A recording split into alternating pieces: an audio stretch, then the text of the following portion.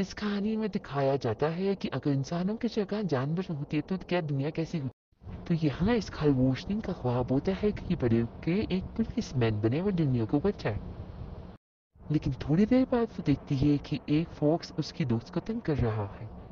तो वो उसको बचाने के लिए उस फॉक्स से लड़ने जाती है। भेड़िया उसको खड़े रहता है, लेकिन फिर वो उसको बदला लेने के लिए उसके मुँह लात मार देती है। सारे मीडिया से देख रही होती है और बहुत शर्मिंदा होता है।